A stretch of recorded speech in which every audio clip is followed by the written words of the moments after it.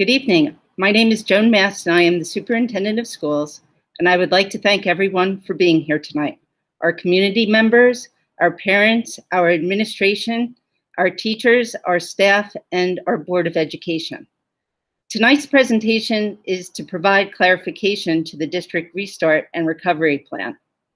This is not a public board meeting, rather an information presentation in response to questions parents submitted. We could not do a Zoom call because of the number of people who, who were interested in, in participating in tonight's call, but we have gone through all of the questions and we did our best to, to find the broad stroke topics to address. We also know that our building principals will be following up on specifics as it relates to the school and, and your child. We have read your questions and we have focused on answering them tonight. So if, if questions are not answered, you can reach out to us and we will follow up. The Board of Education members here are attending tonight as, as parents and they have been very much engaged in this plan and are on the call tonight as parents and community members. Noelle Baxter is our social studies supervisor and professional development coordinator, and Noelle is going to explain the two models that parents can choose for their child. So we have developed two different models for learning this fall, and in the survey that was sent to parents, we're asking you to select the one that will best uh, support your child in their learning this fall. So the first model is called the hybrid model, and it's a hybrid model because it contains both in-person instruction as well as remote virtual instruction from home. The students will be divided into two cohorts. One group will be designated as the blue group and the other group will be designated as the, as the red group simply to be able to keep track of who's attending school on which particular days.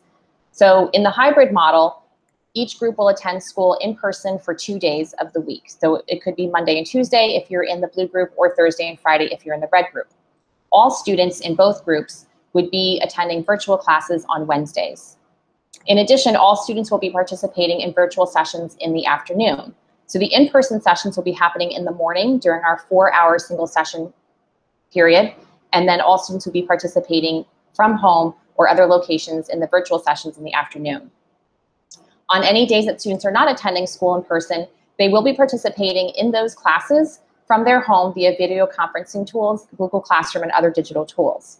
So if a student is attending school in person on Monday and Tuesday, they would continue to be attending their classes on Wednesday, Thursday, and Friday in a virtual platform. The second option is the fully remote online model. For those students, they would participate in all of their classes, both the morning and afternoon sessions, via video conferencing tools, Google Classroom, and other digital platforms. Students who choose the fully remote online model will not attend any in-person instruction, but they will still be participating in all of their classes and interacting with their teachers as well as their peers who might be attending in person or who are also attending from home. So students in both of the models will be following their regular school schedule. They will be engaging with their teachers and their peers in real time and they will be participating in their classes and the same experiences as the students who are in the hybrid model. We're asking each family to carefully consider these two models and then complete the survey by this Thursday at noon so that we can begin assigning those cohorts. Once we know which students will be planning to attend in-person instruction and which students will be participating in a fully remote online experience, we'll be able to assign those cohorts and create lists for families to begin their planning. If your child begins the year in the hybrid format and then you decide that the virtual format is the best option for them, you can make that change at any time. However, if you decide that you want to start the year in the fully remote online virtual platform, you will need to provide advance notice to your principal if you would like to change into the hybrid model and have that in-person instruction. Of course, both of these plans are going to have to be monitored and adjusted as is necessary or required by the conditions in the state and locally.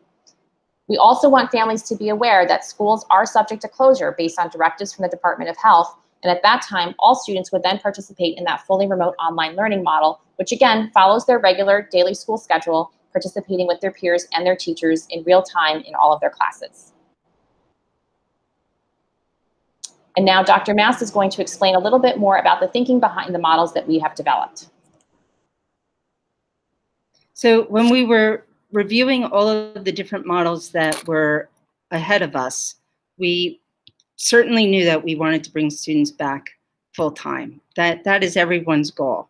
Um, but the first thing that we need to consider is everyone's safety. So by choosing the hybrid model, we are bringing back half of our students, and in bringing half of our students on in two groups, we're able to address the, the things that will, will promote safety. And that being the social distancing, the, the mask wearing, and the hand hygiene. We know by having half of our students in our buildings, in our classes, is going to keep both our students and staff as safe as possible.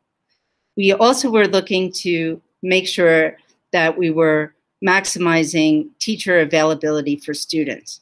So in the model that we created, as Ms. Baxter had mentioned, it will follow a schedule that will transfer to different models. So while we're in the hybrid model, should a disruption occur and we have to go fully virtual, the students will still be following the, the same model.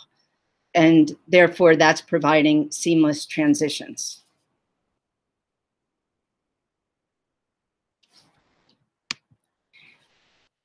The, the school day is divided into the AM and PM sessions.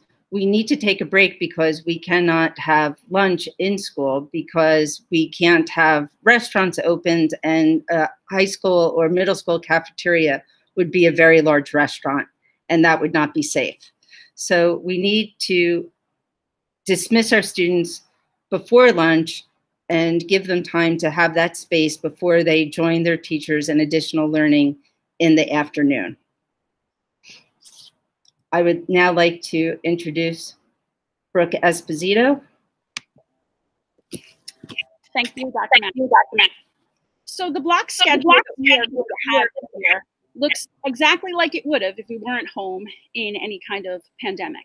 Um, it's the one that we planned originally. So we will operate on an A-B block schedule. So we will have an A day that is periods A1, 2A, 3A, and 4A.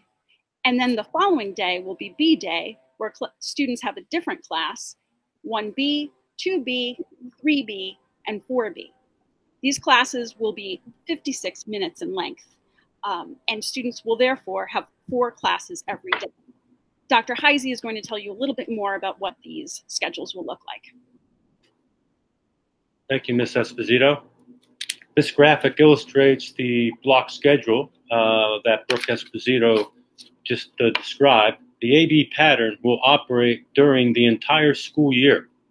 This AB schedule was planned and put into place prior to COVID-19 even being present. This graphic illustrates how the AB block schedule will operate on a single session or a four-hour day. It is the same format we will use when we return to normalcy on a full day, obviously the periods will be longer.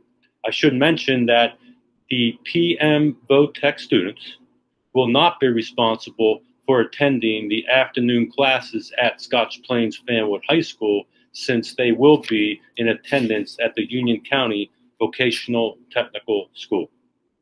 We'll move on to the next slide.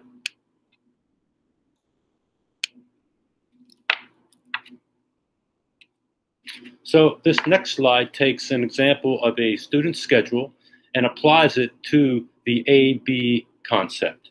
Um, the, the classes listed above are taken directly from PowerSchool. This particular student on A day will begin their day in AP Computer Science. They will then move on in Block 2 to English Advanced Placement. Block 3 will be Advanced Placement Chemistry, and block four will be a physics class. So that would be this particular student's A day. On B day, this particular student would attend Global Perspectives. They would then then move on to uh, block two, physical education. Block three would be a math analysis course, and then they would have their Spanish 4 class in block four. I would like to show you one other example, if I could. So the second example, once again, has the uh, PowerSchool exhibit above. And uh, this particular student does have uh, a semester course Um, when we begin the school year, we will be in semester one. So, for all intents and purposes, um, we can uh, disregard semester two uh, because that will not begin until after the holiday break uh, near the end of January.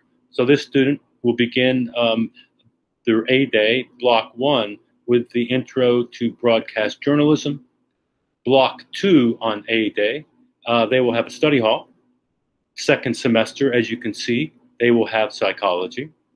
Block three on A day, they have a chemistry course, and then they have the physical education course, block four. And then you can move over to um, B day. Likewise, in block one, they have algebra, block two, Spanish, US history is block three, and they have an English class uh, during, during block four. I would now like to introduce Dr. Dumaresque, principal of Park Middle School. Thank you, Dr. Heisey. So similar to the high school approach of block scheduling, uh, the middle school has also uh, decided to modify the traditional nine period day to operate in an AB block schedule. Now, this is a change from our traditional nine period day. So I will attempt to explain some of the changes um, that this means. Now, we will be maintaining the six day cycle, which means that our schedule will be stretched over 12 days. What's important to note is that students will be engaged in four classes per day, just like the high school block. But in this case, we're going to keep our period structure. So students will attend period one through four on A days. Students will then attend their period five through nine classes on B days. And you have to think about subtracting one period um, on the B days for lunch. All AM classes will be 55 minutes in length and PM classes will be 40, 14 minutes in length. And we will discuss more uh, about this later. So this adjustment to the schedule was made on feedback from the spring from students, parents, and teachers about workload management and increasing organization for students. So I'd like to show you two examples of what this will look like. So which classes meet on which days? If we're taking a student's original schedule and we're essentially breaking it in half, right? Periods one through four meeting on A days and periods five through nine meeting on B days, we've color coded what that might look like. So you can see the original sixth grade schedule here on your left, which would be something you might see in PowerSchool or in paper. And then on your right, you can see that periods one through four are coded as A days, and then periods five through nine are coded as B days. So again, it's almost like breaking uh, breaking one cycle day in half and spreading it out over two days. For a more specific example, I turn it over to our assistant principal of Park, Christy Moreno. Thank you. So imagine that you are a sixth grader and imagine that today is a day 4B.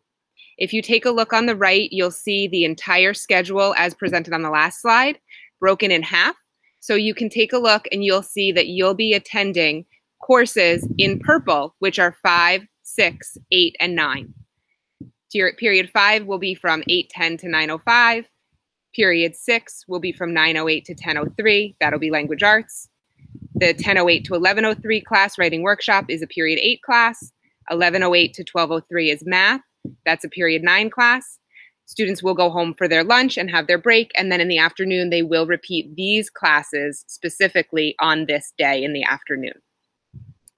If you take a look at the next example, here's what an overall block schedule will look like for our grade six through eight middle school students. So on A day, students will attend their period one through four classes in the morning. We'll have a staggered dismissal and lunch. And then in the afternoon, they'll attend again their period one through four classes. On B days, they'll attend periods five, six, seven, eight, and nine. You'll notice a difference for periods five, six, and seven based on what a traditional lunch schedule might have looked like if we were in school for a full day in serving lunches. And that will be specific to grades six, seven, and eight. Students will see those on their schedules. And then in the afternoon, again, after their staggered dismissal and their lunch and their break, they'll attend those classes on those days. Dr. Dumaresque?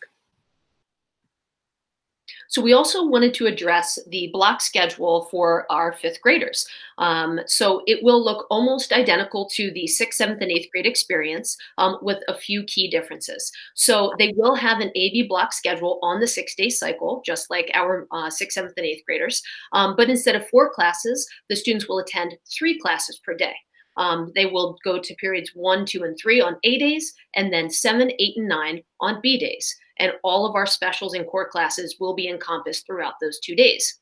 We've also included something called flex time, and this is for differentiated academic instruction and socio-emotional learning every single day.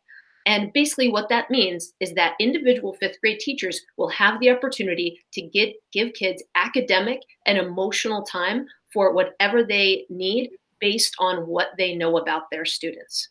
So A-Day classes will be 65 minutes in length, B days will be 55 minutes in length, and then instruction will continue in the afternoon, similar to the middle school schedule, after students have time to travel home and have lunch.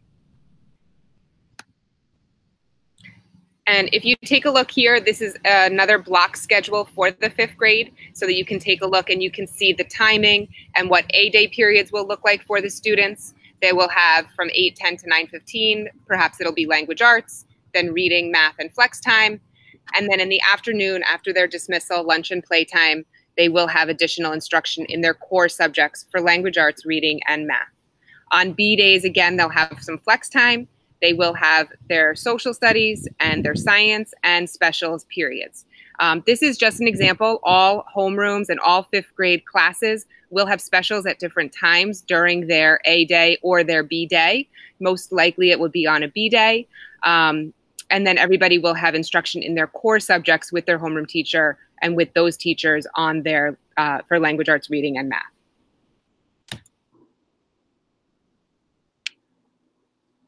Dr. Heisey? So this next slide, uh, this is a graphic um, that illustrates the month of October, a, a, panoramic view, if you will, as it relates to the AB block schedule and the blue and red groups. As you can see, the AB schedule or cycle is continuous and consistent throughout the month of October and the entire school year. Likewise, it connects with the same color coding for both of our middle schools. And here we have a similar cohort schedule for our middle schools. And as Dr. Heisey shared, the color coding is the same because we need to keep the consistency for childcare reasons with siblings across all schools. Um, in addition, at the high school and middle schools, all A days and B days are the same for continuity purposes. So whenever there's an A day at the middle school, there will also be an A day at the high school. Um, and now for a look on a deeper dive into what instruction will look like specifically in this newly reimagined uh, virtual learning, we turn it back over to Noel Baxter. So this is a, an example of what a class period will look like in those morning sessions. So as they just reviewed in their block schedule um, examples, those morning class periods are extended times um, where the students and the teachers will be interacting with each other again um, you know, following their regular class schedule.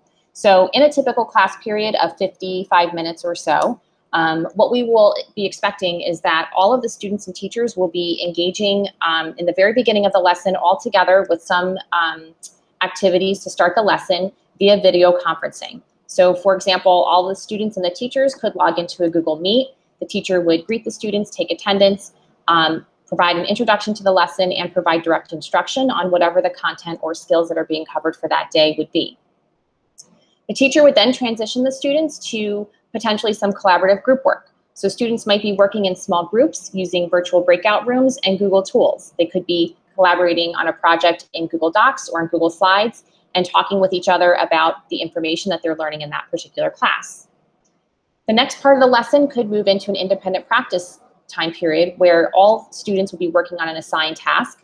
Um, and during that time, because students are going to be working on their tasks potentially in um, virtual areas, again, using Google Docs or Google Tools, the teachers will be able to provide feedback to students. And again, students who are participating in the in-person learning and students who are participating in the fully remote learning are all doing these activities together, connecting with each other through video conferencing and the Google tools. Finally, at the end of the lesson, the teacher and the students will all come back together again, live together in their video conferencing um, session to share ideas, ask and answer questions, and summarize learning for the day.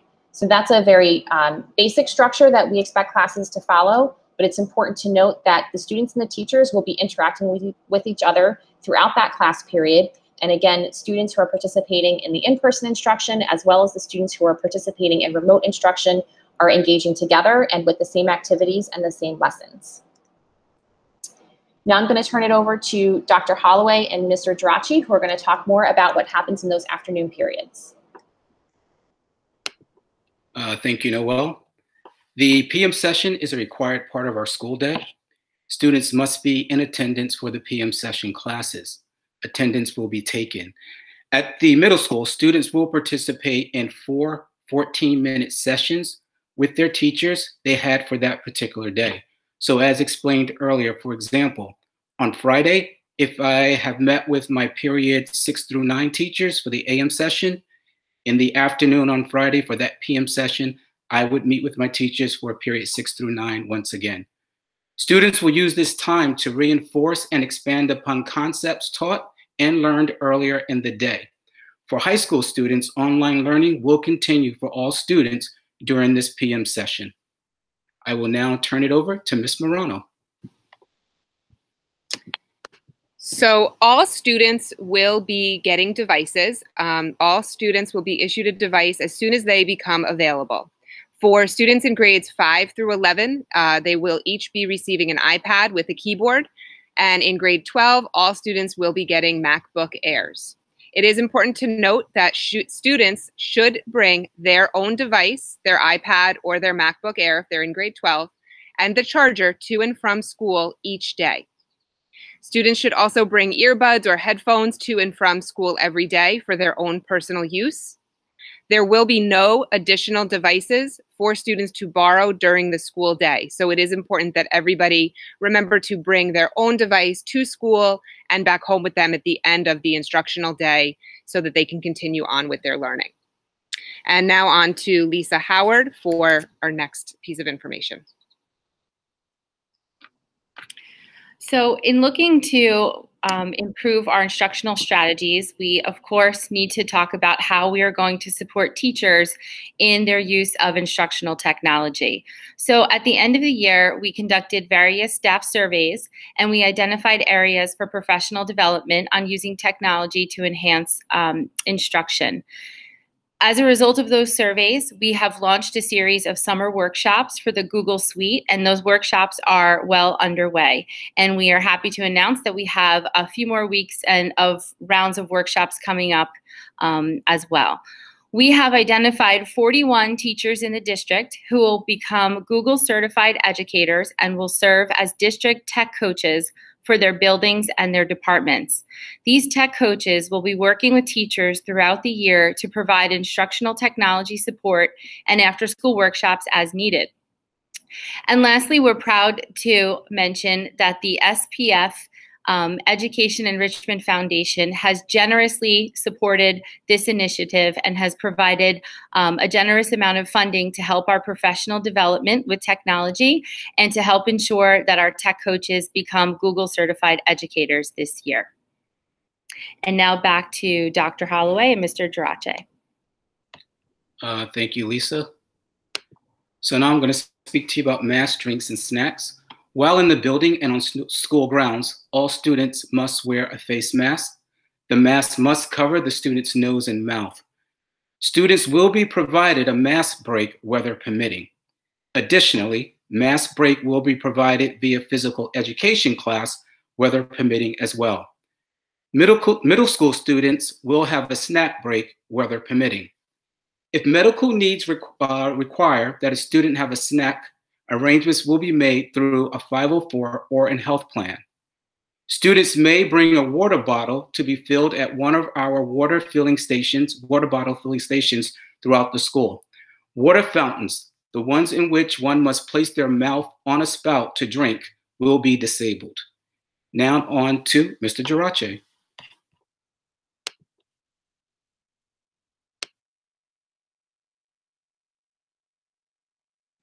Mr. G, you're muted.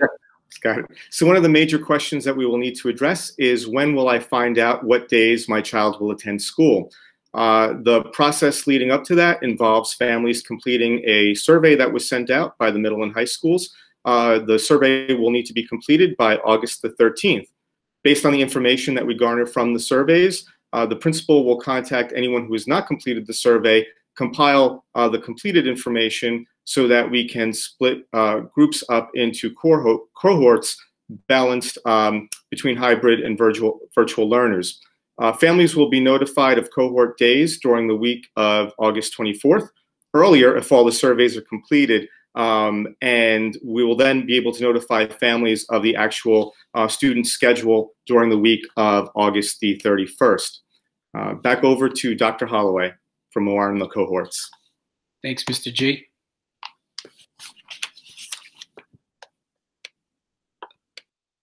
So one of the questions that has come up is, can I ask for my child to be in a cohort for, um, for child for childcare and or transportation? So regarding that specific concern, you can speak to your principal to make a request. However, placement cannot be guaranteed. Please only make these requests if it is absolutely necessary for childcare and or transportation, not for your child to be coupled with another friend. Requests will slow the process of assigning students and communicating these cohorts to families. Now on to Mr. Geraci. Thank you, Dr. Holloway. So safety and transportation go hand in hand in this particular scenario. And with respect to the buses, buses will be cleaned daily with hospital grade disinfected. Also, so as to uh, assist with um, the proper loading and unloading of, uh, of uh, student personnel. Assigned seats uh, will be given. Uh, also, the assigned seats will be as far apart as possible. On the bus, masks will be required. Also assisting with um, health is the fact that we are looking to have the windows open, weather permitting, so that we get a healthy circulation of air in the buses. The number of students on each bus will be determined once all surveys are completed. So once again, it is very important to reiterate that those surveys um, should be completed as soon as possible so we can make the proper arrangements for the buses as soon as possible. Uh, to speak more to safety precautions, there will be a limit to the number of students in each room during in-person instruction. Again, as is the case with the buses, masks must be worn at all times in the classrooms. Also, to the extent possible, uh, social distancing, six feet, will be maintained. Uh, again, that is when possible. Uh, we will be limiting the number of students in restrooms uh, that are permitted to go to the restroom uh, at, at, any particular time so that, again, we can also help to maintain appropriate social distancing and uh, hygiene. Each classroom will be provided with hand sanitizer so that um, upon entry, students will be able to disinfect their hands. Uh, we're going to also limit shared materials and shared spaces. So um, as your student goes throughout uh, the course of the day, uh, they will be having access to as few touch points as possible with um, shared materials. As is the case with the buses, we will be looking to have our windows open and air purifiers for rooms will be provided for those rooms without windows. Our custodial staff will also be following uh, best practices in cleaning protocols and scheduling of that cleaning. To speak with us more uh, with respect to safety protocols, I turn it back over to Dr. Holloway and to Ms. Esposito. Thank you, Mr. G. So at both the middle school and the high school levels, students will be required to change classes. Students in the high school will follow a one-way traffic pattern. At the middle school, students will move through the hallways, keeping to the right. The middle school hallways will be divided in half to assist students with this process. Likewise, staff will be on hand during the transition time to assist in directing students with respect to maintaining proper social distance. Classrooms will not be cleaned between classes. However, students may bring wipes to clean their surface area should they desire. Now I will turn it over to Dr. Dumares and Ms. Morano. Thank you, Dr. Holloway. Uh, as you can see, we take the safety, the health and safety of students and staff very seriously. So much so that we have written this into an addendum to our code of conduct. And we want to very clearly express that any infractions related to safety, such as refusing to wear a mask or removing a mask, things of this nature, will be considered a high level infraction, which is endangering the safety of others. And just to reiterate and to underscore this, school administration will be implementing progressive discipline related to these violations and following up with students and their families immediately. On to Brooke Esposito. So what can you do to get your student ready for learning in September? There are a few things that we noticed over the course of the past school year that we think would be helpful for this school year. You have to make sure that your child is in the right mindset and ready to learn. So encourage habits that foster learning. Instead of letting them take their class in their bed under their covers, as sometimes kids want to do, you need to create a space that is a designated learning space with good lighting, with supplies, with their laptop or their iPad available, and limited distractions. So, siblings not trying to distract them, or perhaps ask them to leave their phone someplace separate from their learning space, because we all know how distracting that can be. You should also encourage your child to keep a schedule. Get up at the same time every day. Have breakfast before school have something set up so that they feel like they're getting up and continuing with the day. This is good for their social and emotional well being. And I think that we can all acknowledge that during this time, a schedule has been something very helpful for us all. You should stay calm and stay positive. They're going to look to you and see how you're reacting to their school, schedule and to what's going on in the community. If they see you being calm and positive, then they're going to be ready to go into their learning environments with positivity and, dare I say, excitement. Um, build mask endurance. So students are staying home right now and they're not used to wearing masks all the time. Maybe to go to the supermarket and come back. What you need to do is, or need to try to do, is encourage your student to wear a mask for an hour today and two hours the next day and three hours the next day until you work them up to being able to wear masks for a extended period of time. This way, when they get to school in September, they're not going to be distracted by the mask and they're going to be ready to learn and ready to concentrate. Also, model social distancing because kids are hanging out with their neighbors. Sometimes they're hanging out with their friends and they're out of the, these are people they see all the time, so they feel comfortable not social distancing. But when they get to school, they're going to see these students and they're going to feel like they want to go up to them and hug them, etc. So just make sure that they practice changing that behavior. And one piece that's pretty important, and if you're here watching tonight, you already know this. If you are looking for information, go straight to the source where you know that the information is going to be accurate. Go to your school website, go to the district website, go to your principal.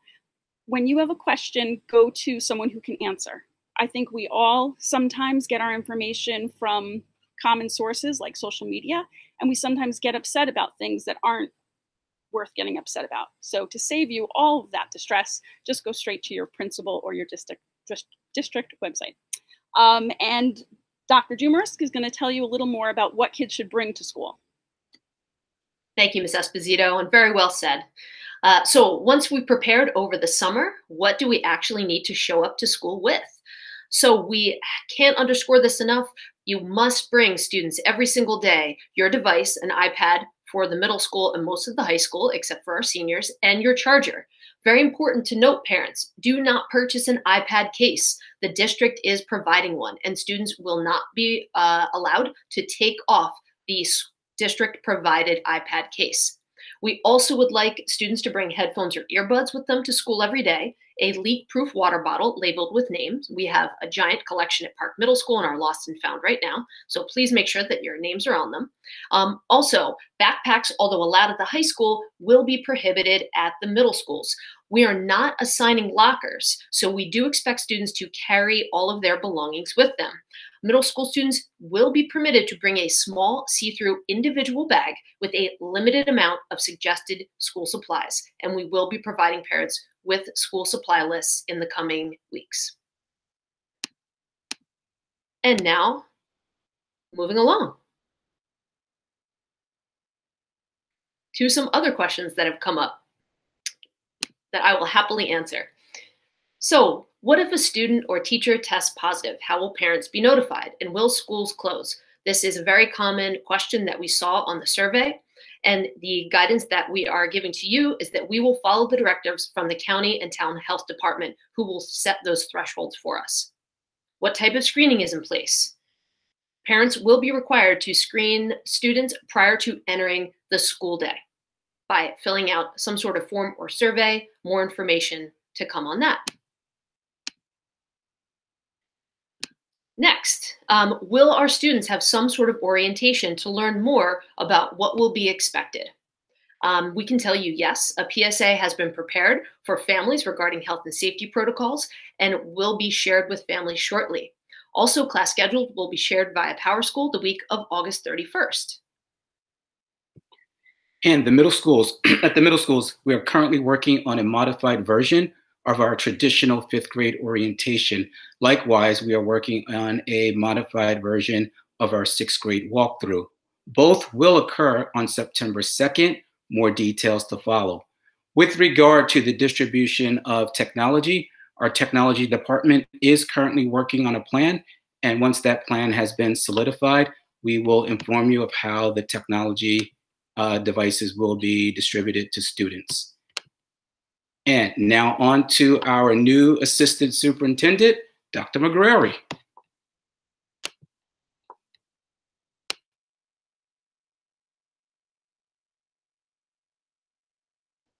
This might be a good moment to take a deep breath. Um, my name is Robert McGarry. I am soon to be your new assistant superintendent, um, joining you this year for the first time. Um, it has been a real privilege to uh, over the, the course of the last several months to be a, an observer and a participant in many of the meetings that have taken place to develop this plan. Um, in terms of when we will transition back to a full in-person schedule, um, we are still uh, determining that, working with our Department of Health um, and the Department of Education um, to, to develop what those key metrics are for when we will be able to um, go back to school full time. And this most recent meeting of the district uh, restart and reopening committee had some really important VIP guests, uh, teachers, as well as um, some students from Scotch Plains Fanwood High School. Um, and to say that I'm already feeling a sense of pride for our students would be an understatement. Um, the students here are remarkable. Um, and we had an opportunity to hear from them and to learn from them about their experiences uh, with at-home learning in the spring and also what their hopes are for uh, this coming school year and the hybrid model to begin with. Um, and when I listened to the students speak, I learned um, that, that three different themes came up from, from their conversations. One is that they really recognize the value of learning from and with their teachers and with their peers in real time. Um, these students, James, Emily, Alexa, Ryan, and JJ, said things like, I would hope that the at-home learning time would have more opportunities for student-teacher interaction with Google Meets. We should have time for us all to learn together, think together, and help each other. And I'm glad that students will have the opportunity to see our teachers in person again and be in a dedicated learning environment rather, rather than just being at home. Students also revealed that they really have, have learned who they are as learners um, and perhaps maybe even with at-home learning, helping them to learn some of that along the way. Students said things like, I prefer to see how a problem is solved or read through something with a teacher present to know I understand it correctly. Or the only other aspect to remote learning that I did not really connect with was that some teachers didn't offer a variety of assignments. Students gave us really truthful, critical, honest feedback. And lastly, while independent learning is better for some, I'd rather have the chance to be part of classroom interactions and discussions. These discussions help me remain focused as I am learning from my classmates. And so we want to really capitalize upon um, students' knowledge of themselves as learners, um, but also this really ties into the work we're going to be doing this year around anti-racism and anti-bias work with our students to, uh, to make those moments where they are learning in a social setting um, more robust, more rigorous, more respectful uh, for them all. And finally, students want everyone to be safe which is exactly what we all want and what you all want. Um, one student said, going back full time isn't a smart move because of the pandemic, but I feel the school is taking steps in the right direction to make school feel as normal as possible. And one student said, it makes me very sad knowing that the year won't be what I had looked forward to, this, this student being a senior, but I am willing to accept that if it means our district will be safe you have so much to be proud of um, in, in the students that attend our schools. And I look forward to meeting them in both the hybrid setting as well as when we're all back together um, when we are through the pandemic. Thank you. So I would like to just thank everyone for your time tonight and attending to learn more about our startup plan as as the student said, safety is at the forefront of us moving forward in in the hybrid model, the at-home learning model, and or when the the wonderful day comes when we could come back full time. On, on the footer of every page of the plan, it says that we are considering the model that we will use based on the available data that we know. At this current time in New Jersey, the data says that things are looking good and we do hope that our students will be coming back. At the same time, we still await the Department of Health protocols that we can review to ensure that our buildings are safe and all of the practices that we have put in place are safe. So we, we still have a little bit more flesh to, to put onto our protocols to ensure that. At the same time, we know that this pandemic is going to end and our wonderful school system and community will come back to where we were um, pre-March timeframe. And it's very important that we move forward in supporting each other, that we're ready to pivot together through this pandemic for the sake of our for our children and the good relationships that we have. So have a good evening and take care.